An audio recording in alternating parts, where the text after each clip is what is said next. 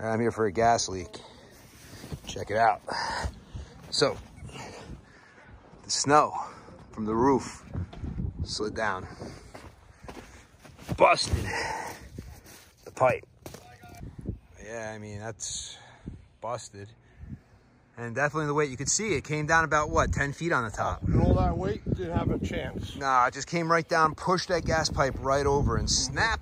Snap. Yeah. Just tore it. And the threads are like the weakest spot on it because it's a thinner wall. Oh yeah. Because it's been threaded. Yep, it just went. And that's why it's on that bad angle going that way. No, that's I. I've been up here not a lot, Yeah.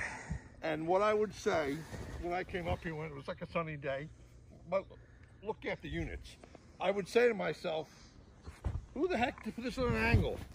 and that would always be implanted in my head. Yeah.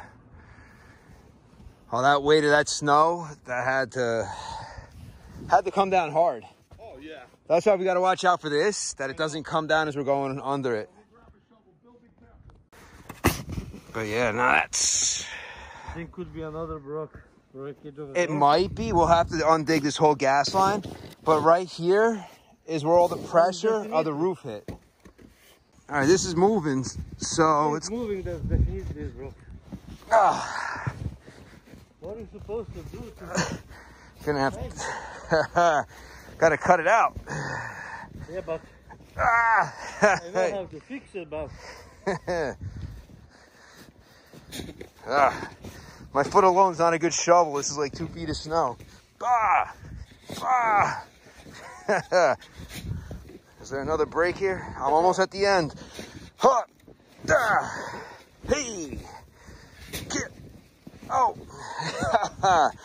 ah. Okay, what do we got here? Ah. Okay, at the fitting, it doesn't look busted here. So actually, it's going straight. The pipe is going straight that way.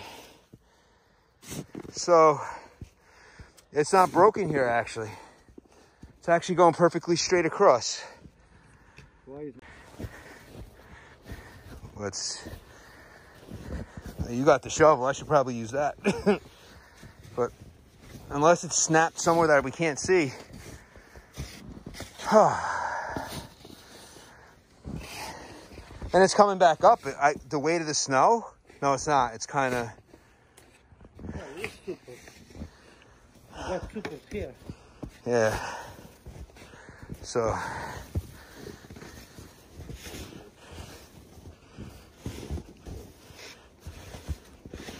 All right. I don't think. I don't think there's gonna be any other breaks, but we still gotta dig it out to see. All right, I'm gonna get a tape measure and see what I have to do to fix that. How much you think that weight of the snow is when it slid down? It's gotta be heavy. Freaking out. Cause that was up to the peak and it just came down, hit that pipe and snap. To be tons of Yeah, cause it's like two feet, right? How much snow do we get? two.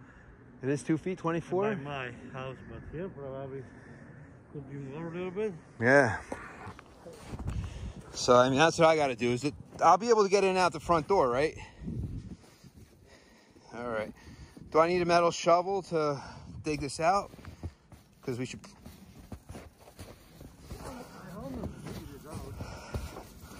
And I mean, it looks like it's a full length of pipe.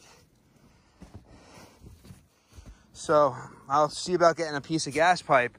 Probably leaking there too but it's going to be leaking there not because the break eh, because it turned when that broke so we probably loosened or something here probably turned or leaked here Another break could be over there. i don't think know if it's a break it might have loosened the threads though or tightened it depending Yeah, but definitely. you have yeah so i'm gonna check i mean when i get that together we bubble it because you got a union here so it's got to come apart this way anyway to get to there. Yeah, this is, i have to take all this apart. Oh yeah so i got to start here and work my way back to there so